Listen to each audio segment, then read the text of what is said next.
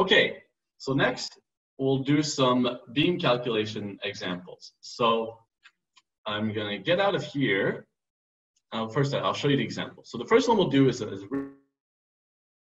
it'll just be a joist like you probably have in your house or something, just uh, a standard two by joist, a, a board of wood, um, and it's spaced at 16 inches, so that's typically what you have in a house. Uh, in this case, it's fully supported laterally, so we don't have to worry about uh, lateral torsional buckling, which is nice. And it's bearing on the two by four top plate at the end. So that's something that's important to account for when we're looking at uh, a bearing.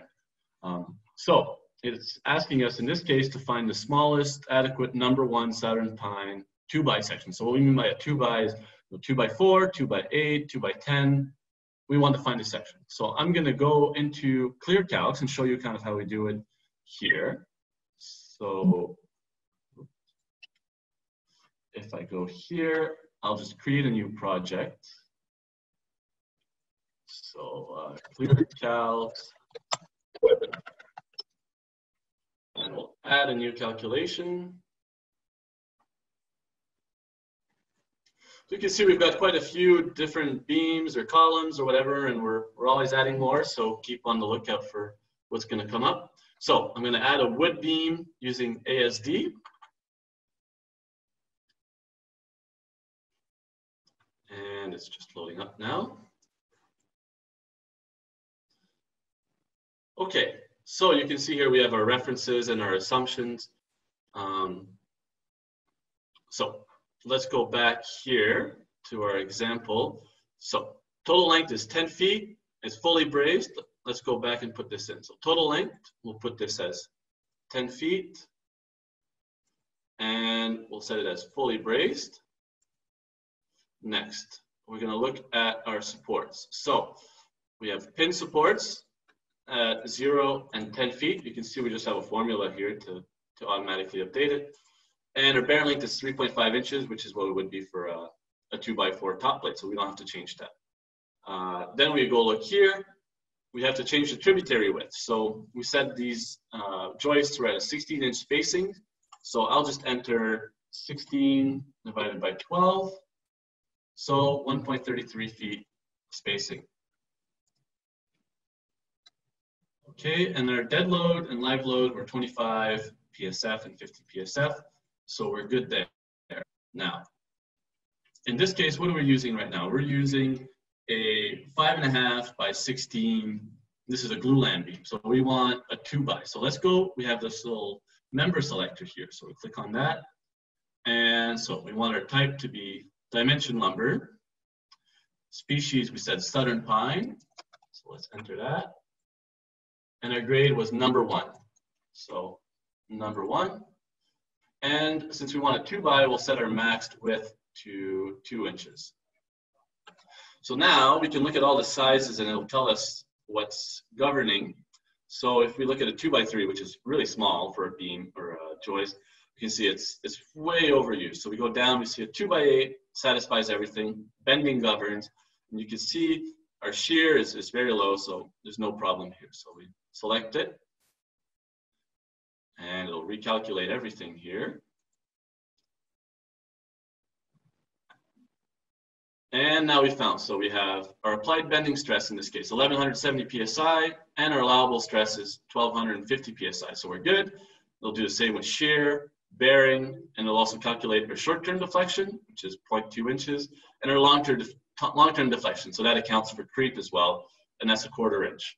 Uh, so we can go down here, and now we see this repeating member.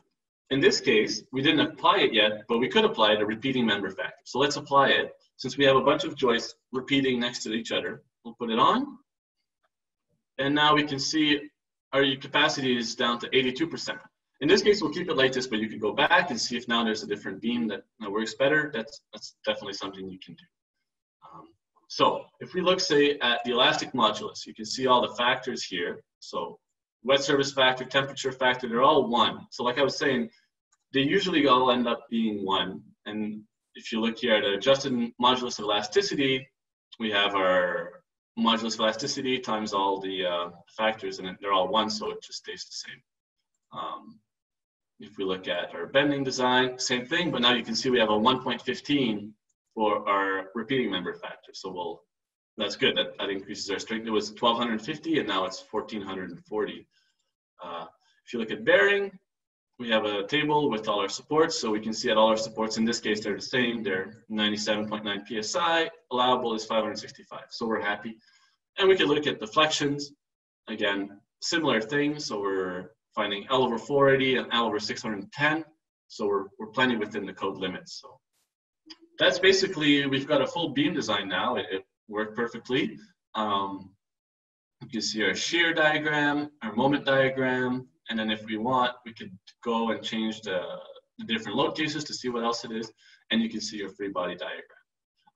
You can see there's self-weight included, so we're calculating that in wood, it's pretty common for people, especially with small two bys or something, people will often ignore the self weight and just keep it in their dead load and PSF. So if you want to do that, that's easy. We can just make it no for include self weight and then it's it's gone, which in this case, it doesn't really change anything.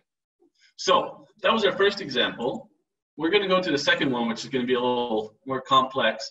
So here, I'll just show you real quick. So in this case, we've got this cantilevered beam supporting a gym floor. It's a fancy gym, I guess. Um, and so it's got a high live load, low dead load, just because in general in wood structures, we can get a much lower dead load than in uh, other structures. Uh, so our beam spacing is at six feet and it's bearing on eight by eight posts. So that an eight by eight, the, I, I forgot to mention this earlier, but um, in general, our sawn lumber dimensions are going to be a lot smaller than what they actually, the nominal size is. So in this case, it's a seven and a quarter inch. Um, and this time we're designing it, it's an LRFD project. So we're designing it for LRFD provisions. So let's go back to Clear ClearCalcs and we'll add a new calculation. And we're gonna do wood beam this time, LRFD. We're just gonna load it up. So this is all cloud-based. So the nice thing is if I make a, a, mistake or my computer crashed right now, I can just pull it back up and it'll all be saved or I can open it on Brooks' computer here or something and it works fine. Um, so in this case, oh, I'll go back to it. What we're trying to do here is we're trying to find the 24F V8 DF glulam section. So 24F V8 refers to the grade and the species. So 24F means 2,400 uh, PSI bending strength. And then the V8 just refers to how the, the different uh, boards of wood are set up. So V8 is actually what we call a balance section. So we have strong uh, wood at the top and the bottom, which is what you typically use in a continuous beam, just because you have uh, negative moment as well. So we'll go back to ClearCalcs. So our total length is 43 feet. So we'll change this. And this time our lateral torsional buckling bracing was only at the support. So we'll leave it like this. Uh, our deflection limits, we'll leave them like this. And now we have to add our supports. So this one, our, we have three supports. So the first one was at 15 feet. So we'll change it. And we'll add another one at 35 feet. So they're here. And our bearing lengths, I said, were seven and a quarter inches. So let's change this here. Whoops.